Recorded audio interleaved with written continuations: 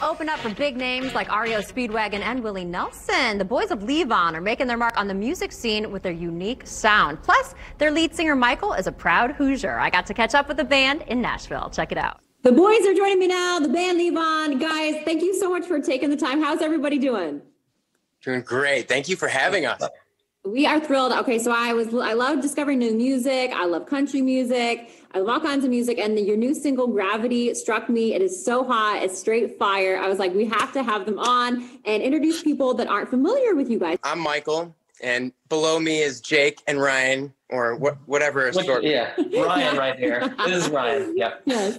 And we're Levon. We're um, a band that's from Nashville, Tennessee, a trio. We love, you know, soulful harmonies and kind of a retro vibe. And um, we've been together for about five years. And up until COVID happened, we were just having an absolute blast in our Winnebago, rolling around with um, REO Speedwagon and um, just loving life on the road. And um, and this last um, year has been quite crazy for us. Mm-hmm. Well, kind of adapting to the new situation of not being able to tour all the time, but we discovered uh, TikTok. And Yes. we've been discovering what it is to be a band all over again. I love that. Now, Michael, you have a really cool Indy connection we have to get to. So you actually are a Hoosier. We love I- it. Made me proud. So you went to IU for some time? Yeah, I was. Uh, I don't know what dorm you got thrown into when you went to. Foster IU. Harper. Hey. Sure, Yeah, I would go and have my dinner there at Best Foster. food court by far, in my opinion. Yes. I was in Read Hall, so I had Okay.